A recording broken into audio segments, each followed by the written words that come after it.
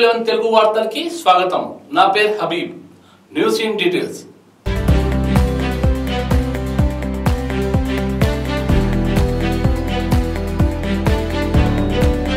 Visakhapatnam జిల్లా అరకులోయలో కృష్ణాష్టమి వేడుకలు ఘనంగా నిర్వహించారు.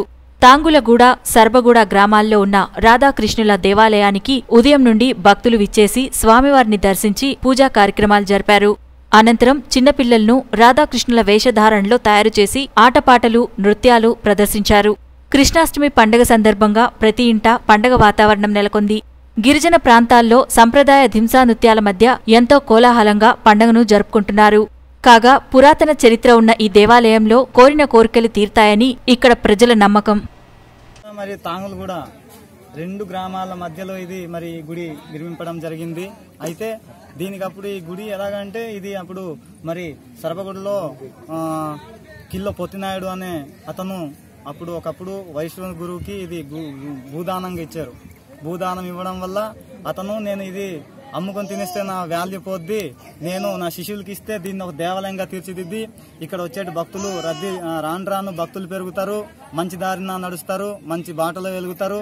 అలాగే ఇక్కడ వచ్చేటువంటి భక్తులందరూ మంచి మార్పుతో వచ్చి వారి యొక్క కోరికలు సిద్ధించి వాళ్ళు మంచి దైవానుగ్రహాన్ని పొందుతారనేసి ఇది ఉద్దేశించి ఈ దేవాలయాన్ని ఇక్కడ ప్రతిష్ఠింపడం కట్టడం జరిగింది.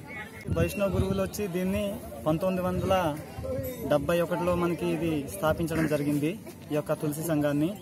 అయితే క్రమక్రమంగా అలాగే ఇక్కడ ఏంటంటే భక్తులు తులసి మాలలు కట్టించుకోవడము చెడు వ్యసనాలు అంటే ఇప్పుడు మనకి తాగుడు కానీ అలాంటివన్నీ నిర్మూలించుకొని మానవుడు ఒక నైతిక విలువలు తెలుసుకొని అతను సమాజంతో ఏ విధంగా మెలగాలి ఏ విధంగా ఉండాలనేది ఇక్కడ మాకు వరుస నుంచి వైష్ణవ గురువులు బాగా నేర్పారు.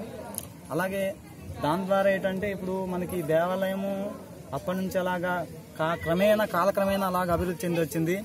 మరి ఇవాళకి మరి ఆ దేవాలయము అది పాతదవ్వడం వల్ల అది కారిపోతుండడం వల్ల ఇది కొత్తగా దేవాలయం నిర్మించాము.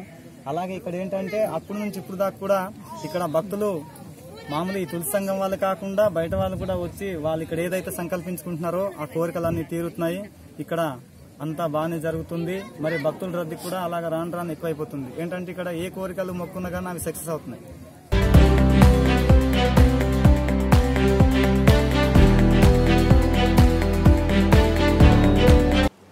ఈరోజు వార్తలు. మరి హిందీ తెలుగు వార్తలతో పాటు పొలిటికల్ పన్ స్పెషల్ ప్రోగ్రామ్ క్రైమ్ న్యూస్ కోసం చూస్తూనే ఉండండి టీవీ లెవెన్.